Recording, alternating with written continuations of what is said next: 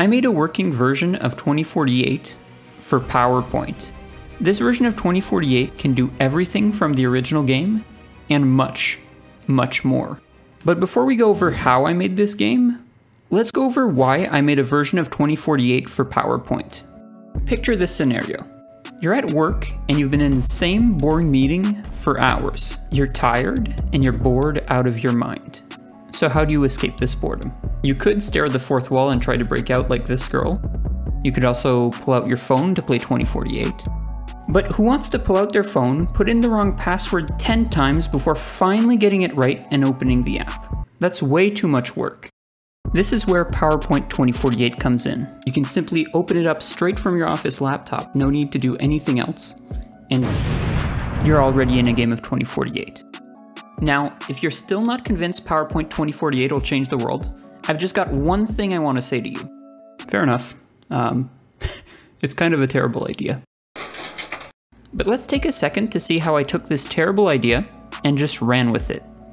So it turns out that PowerPoint, Excel, and Word all share the same coding language called VBA. Thanks to this coding language, I can automatically move images around, rotate them, and delete them.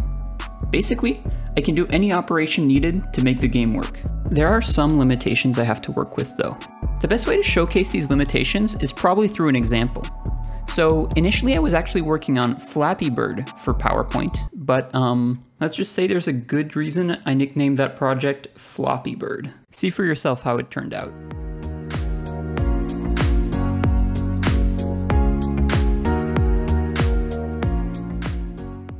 Yeah, so it turns out that VBA can't run any faster than about 2 frames a second. That means any animation will be really choppy. I guess that sort of makes sense because I don't think any sane human being would actually try and make a game on PowerPoint. So unfortunately for us, this means the game can't have any fancy animation. Luckily though, 2048 doesn't really need to be animated. That being said, I think it's time we start work on the game. The first thing I'm going to do is blatantly plagiarize all the assets from the original game, so I don't have to make them myself. In my defense, I don't think I'm the only one who's stolen these images before. There are easily 200 copies of this game on the App Store. Quick side note, I don't think I've ever seen anything have original in its title and actually be the original. Like, why would the first person to make the game ever call it Original 2048? That's like me calling myself the original Code Spooks. It just doesn't make sense because there are no copies of my channel.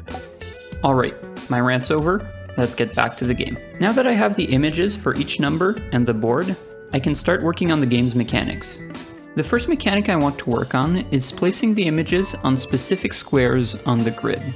That's really a core mechanic for 2048, because if we can't move the images around on the grid, then we don't really have a game. So let's just say I wanted to place an image here. For me, it's easy to say that this is the second column of the third row. But for VBA, well, let's just say VBA is a bit dumb. It can't understand rows and columns.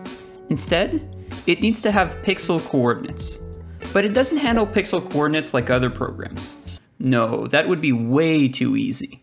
Instead of having the coordinates start from the bottom left, like any sensible program should, for some forsaken reason, it chose to start its coordinates from the top left instead. Now, terrible coordinate system aside, to move numbers around, I need to find a way to convert rows and columns into a pixel value. In order to do that, I had to bring out the big guns. That's right, I had to bring out Microsoft Paint. Now, I know what you're wondering. Isn't Microsoft Paint just for drawing?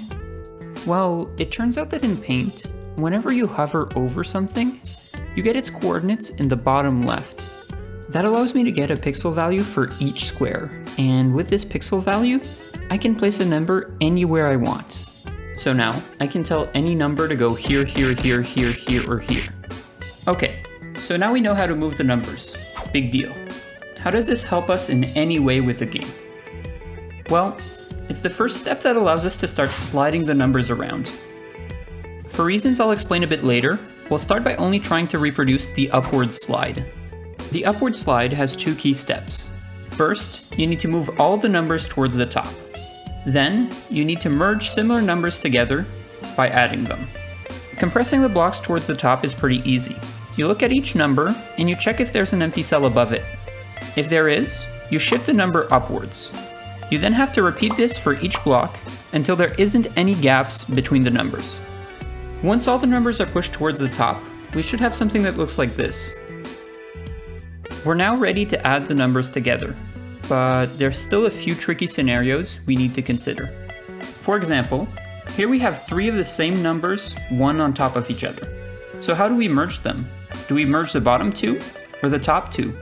Well, after playing the game for 10 minutes in order to figure it out, and playing another two hours to procrastinate, I finally came up with an answer. It depends on the direction of the swipe. If you're swiping up, then the top two will always have priority. This means that the two at the top will combine into a bigger number, while the one at the bottom will stay small and insignificant. So now that we've figured out what to do in those rare scenarios, how do we actually implement it in PowerPoint? Well, it turns out that PowerPoint allows us to copy images and delete them. So in order to combine two numbers together, we first need to delete them. Then, we copy the image of the combined number and place it where the two deleted blocks were. Since both these operations are done at the same time, it'll look like we just added the numbers together. Okay, so once we put all the elements together, we have a very basic version of 2048. Except, in this version, you can only move up. And it turns out that that doesn't make for a very good game.